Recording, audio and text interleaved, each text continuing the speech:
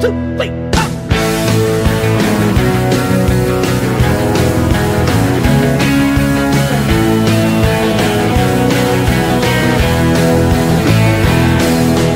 How many roads must a man walk down before you call him a man?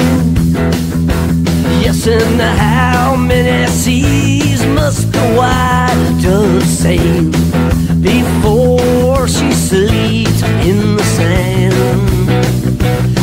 And how many times must the cannonballs fly before they are forever banned?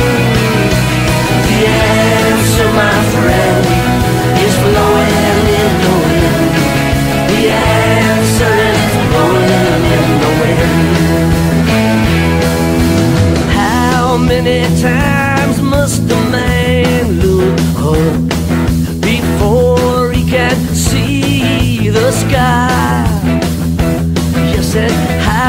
many years